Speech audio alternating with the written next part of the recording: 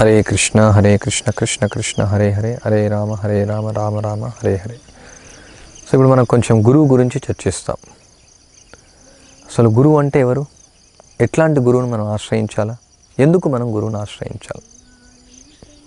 ఇక్కడ శాస్త్రాల్లో వివరించబడి ఉంది తద్విజ్ఞానార్థం సగురిం ఏవాభి గచ్చేత్.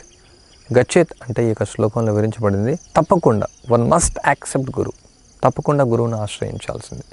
మామూలుగా కూడా సామెత చెప్తారు గురువు లేని విద్య గుడ్డు విద్య అని.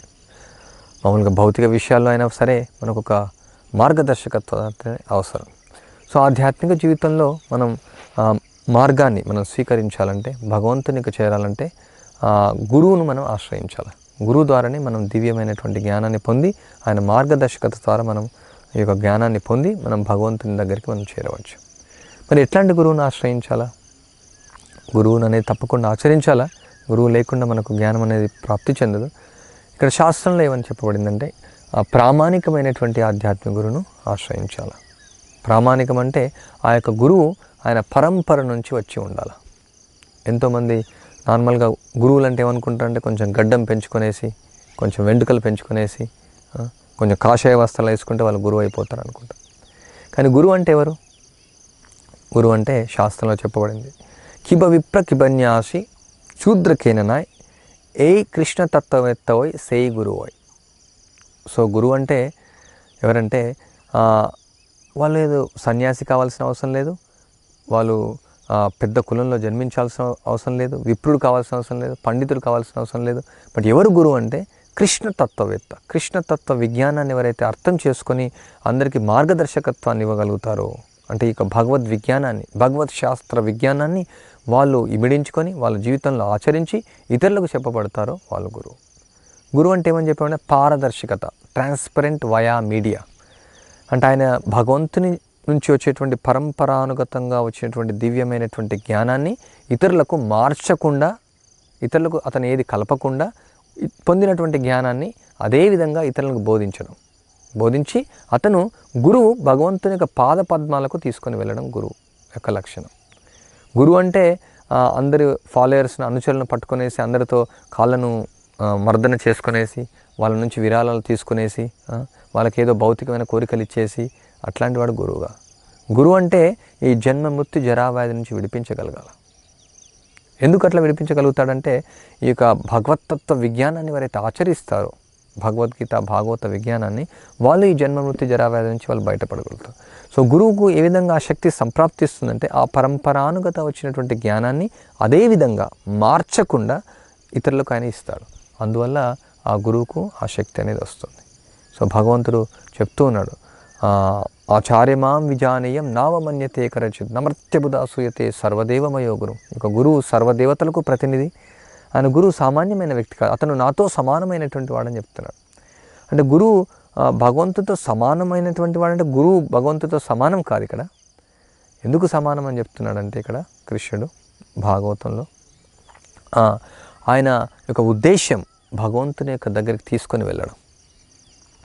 ఆయన యొక్క లక్షణాలు భగవంతునితో సమానమైనటువంటి యొక్క లక్షణాలు కలిగి ఉంటాడు. సో అందువల్ల ఇక్కడ రెండు రకాలుగా చెప్పబడింది శాస్త్రంలో. సేవక భగవాన్ సేవ్య భగవాన్. ఒక సేవ్య భగవాన్ అంటే మన భగవంతుని మనం సేవించాలి. సేవక భగవాన్ అంటే ఇతను గురువు భగవంతునితో సమానంగా మనం ఆరాధించవచ్చు పని అతను సేవకుడు. చాలామంది ఈ రోజుల్లో ఆధునిక కాలంలో గురువు ఓ వాళ్ళు భగవంతునిలాగా వాళ్ళు సేవను తీసుకుంటూ ఉంటారు. భగవంతు వాళ్ళే భగవంతుని కూడా చెప్తూ ఉంటారు. అనుచరులు ఎంతోమంది వాళ్ళు భగవంతునిలాగా ఆరాధిస్తూ ఉంటారు. ఆరాధింపదగినటువంటి వాళ్ళు కానీ వాళ్ళు సేవ్య భగవాన్ కాదు. సేవక భగవాన్. ఆ గురువు ఏం చేయాలంటే ఈ యొక్క అనుచరుల నుంచి ఈ శిష్యుల నుంచి సేవనంతా కూడా భగవంతుని దగ్గరికి తీసుకొని వెళ్ళాలి ఆ సేవను. ఆయనే స్వీకరించకూడదు.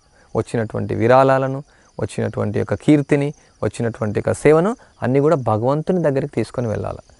సో వయా మీడియా అంటే అదేనమాట. ఒక మూడు రకాలైనటువంటి అద్దాలు ఉంటాయి.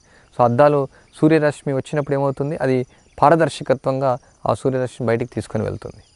కానీ కొన్ని అద్దాలు అది మామూలుగా స్టిక్కర్ వేస్తారు. అప్పుడు ఆ పారదర్శకత వెళ్ళదు. మామూలుగా కార్లలో మనం చూడవచ్చు. సో చాలామంది గురువులు ఏం చేస్తారంటే వాళ్ళ యొక్క శిష్యుల నుంచి వచ్చేటువంటి యొక్క అన్నీ వాళ్ళే స్వీకరిస్తారన్నమాట. వాళ్ళు స్వీకరించకూడదు. గురువు యొక్క గొప్ప లక్షణం ఏంటంటే అతను కేవలం వయా మీడియా లాగే ఉండాలి. పారదర్శకత్వాన్ని ఇవ్వాలి. ఆయన ఇచ్చేటువంటి జ్ఞానం ద్వారా వాళ్ళు శిష్యులు దాన్ని ఆచరించి అది భగవంతునికి అర్పిస్తారని కూడా. భగవంతుని సేవకు అర్పిస్తారు. సో మనం చూడొచ్చు ఆదర్శవంతమైనటువంటి గురువు అంతర్జాతీయ కృష్ణ చైతన్య సంఘ సంస్థాపకాచార్యులు శ్రీల ప్రభుపాల వారు. ఎందుకు ఆయన ఎంతమంది కోట్ల మంది ఆయనను ఆదర్శంగా తీసుకొని కొంతమంది కృష్ణ భక్తిని స్వీకరించారు? ఎందుకు వాళ్ళ జీవితాలని ఆయనకు త్యాగం చేశారు? ఎందుకు ఆయన యొక్క మార్గదర్శనం పొందారంటే ఆయనకు ఉన్నటువంటి గొప్ప లక్షణం ఇది. ఆయన ఎప్పుడు కూడా ఆరాధించాడు అనుకోలేదు ఆయన ఎప్పుడు కూడా భగవంతునిలాగా ఆయన పోస్ట్ చేయలేదు. ఆయన ఎప్పుడు కూడా ఆయన స్వార్థం కోసం చేయలేదు. ఆయన ఏం చేశారంటే భగవంతుని యొక్క ఆదేశాన్ని అందరికీ ఉన్నది ఉన్నట్టు ఇచ్చి అందరినీ భగవంతుని యొక్క సేవకు ఆయన తీసుకొని వెళ్ళారు. అది గురువు యొక్క ముఖ్య లక్షణం. ఈ విధంగా శాస్త్రంలో చాలా అద్భుతంగా గురువు యొక్క లక్షణాలు వర్ణించబడ్డాయి. ఆ యొక్క గురువు యొక్క లక్షణాలు మనం శాస్త్రంలో చదివి అట్లాంటి గురువుని మనం ఆశ్రయించాలి. ప్రామాణికమైనటువంటి గురువుని మాత్రమే మనం ఆశ్రయించాలి. మనం ఎవరో వీధిలో వెళ్ళేటువంటి కాషాయ వస్త్రాలు వేసుకొని గడ్డం పెంచుకునే వాళ్ళ దగ్గర మనం ఆశ్రయించడం అంటే మనం ఆ గురువు నరకానికి వెళ్తాడు మనం నరకానికి వెళ్తాం. అందాయ తాందై రూపనీయమాన స్థిపిస్యతంత్ర వృధామి వద్ద గుడ్డి వాళ్ళు గుడ్డి వాళ్ళకు మార్గం చూపించారు. అందువల్ల అజ్ఞాన తిమిరాంధస్య జ్ఞానాంజన శలాకయ చక్షుర్మిళితమైన తస్మై శ్రీ గురవే నమ.